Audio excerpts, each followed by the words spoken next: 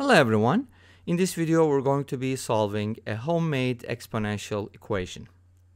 So we have x to the power 1 over x equals square root of 2 and we're going to be finding the x values. I'll be presenting two approaches and let's start with the first one.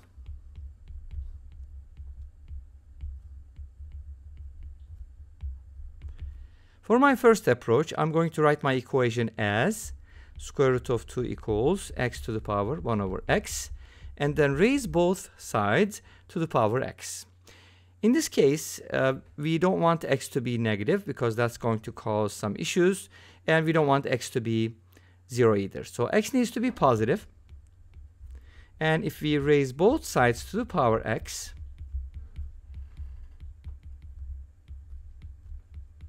we get something like this. And the x cancels out here. So we end up with something simpler. Square root of 2 to the power x equals x. Now this is nice because on the left hand side we do have an exponential equation. And on the right hand side we do have a linear function. And we want them to intersect and find the intersection point. How many intersection points can they have? First of all, exponential functions are pretty much always concave up. Now, that's my claim, and I will just prove it, of course. So let's go ahead and write this as f of x equals square root of 2 to the power x. And notice that uh, the base is greater than 1, so this function should also be increasing. But let's go ahead and prove that. I'm going to take the first derivative. If you have an exponential function to, to, to, to differentiate it, uh, you basically write the same thing and multiply by ln of the base, which in this case should be square root of 2. I want you to notice one thing.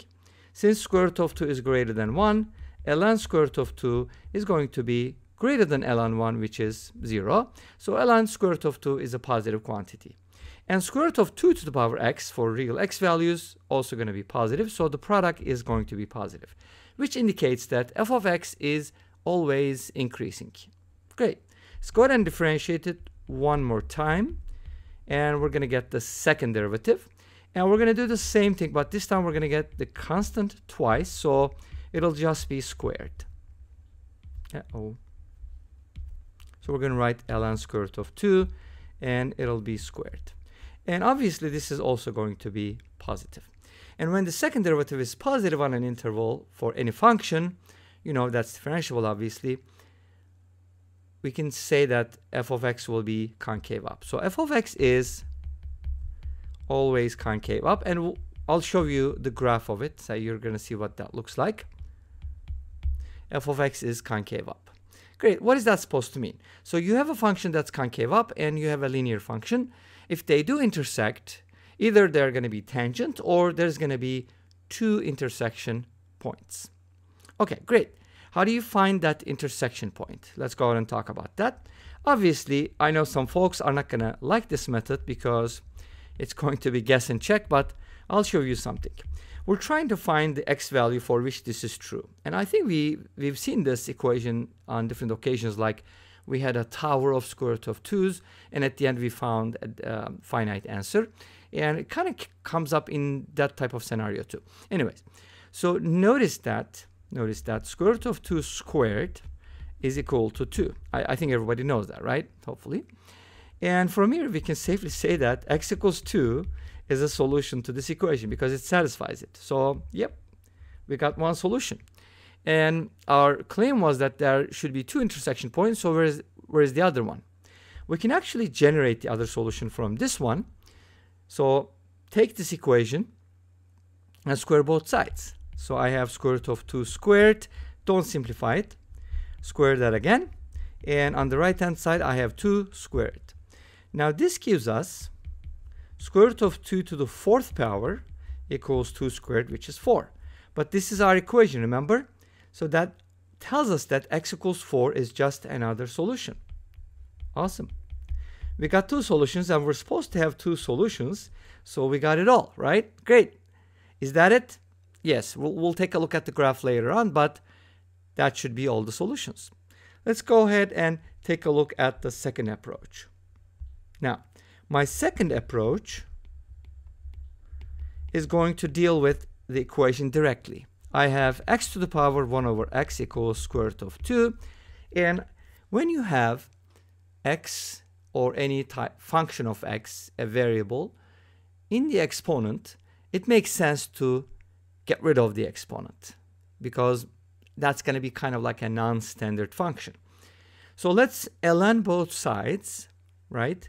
ln both sides to get rid of the exponent. So if we do ln x to the power 1 over x, that didn't look very good. So we have ln x to the power 1 over x equals ln square root of 2. Now let's go ahead and use properties of logarithms. So we can go ahead and move this 1 over x here. That just becomes a coefficient.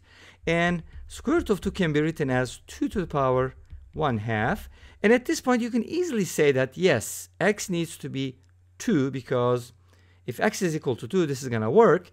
But let's go ahead and you know simplify this a little bit more to make it nicer because we said we were going to get rid of the exponents. So here's what it looks like. 1 over x ln x equals 1 half ln 2. Awesome. Now we can write it as a quotient ln x over x equals ln 2 over 2. And obviously from here, it's not too hard to see that x equals 2 works.